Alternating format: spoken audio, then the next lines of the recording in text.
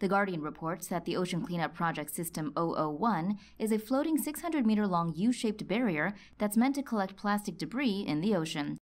The project's main goal is to clean up the Great Pacific Garbage Patch, a massive island of garbage in the Pacific Ocean between California and Hawaii. Last September, System 001 was towed from San Francisco to the patch, but problems arose during its first cleanup attempt. While the system managed to catch plastic waste, it struggled to maintain sufficient speeds and was unable to retain the collected trash. The floating boom also broke apart under constant winds and waves, reports The Guardian. According to Ocean Cleanup, an upgraded design dubbed System 001B is currently being redeployed to the patch. The screen has been brought forward in order to eliminate the rail connection that caused the boom fracture and the heavy stabilizing frames removed to ease the load on the pipe.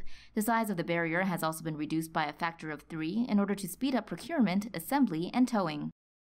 New features include the attachment of inflatable buoys in the opening, which will tow the system forward, propelling it using the force of the wind. Should the buoys fail to speed it up, an alternative option is to attach a parachute like sea anchor that will turn the system around and bring the speed close to the speed of the water.